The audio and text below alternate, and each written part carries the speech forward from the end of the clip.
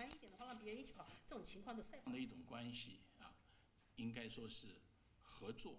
In our businesses from both China and the U.S. 我们始终认为，中美经贸关系本质上是互利共赢，合作应该是两国做出的唯一的正确的选择。呃，我愿与各位参议员共同努力，促进双边贸易和投资的增长，为两国和世界经济注入更强劲的动力。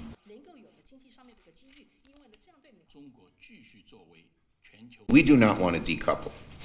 We do have we do have competition, um, but we certainly do not want conflict, and that's why we want to re, uh, manage our re relationship responsibly. That's what the world expects us. Uh,